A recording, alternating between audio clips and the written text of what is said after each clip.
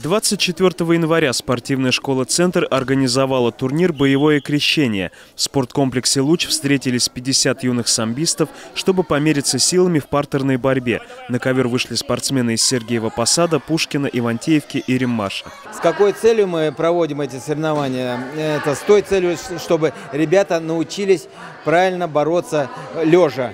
То есть, когда упадут после бросков различных, чтобы умели дальше преследовать противника. То есть, умели сделать переворачивания какие-то, а, болевые приемы, уходы с удержаний, с болевых. Вот именно здесь нарабатывается техника борьбы лежа. То есть, они здесь смелее уже э, борются вот внизу, на первом этаже, скажем так. Ребята делают, э, э, показывают работу над болевыми приемами, болевые на ноги, на руки, удержание. Вот. э, Так что необычная борьба, но очень полезная для их развития. 20 секунд, 2 балла за полное удержание борцу. Синим поясом болевой. Дальше, дальше, дальше. 3 балла за болевой прием.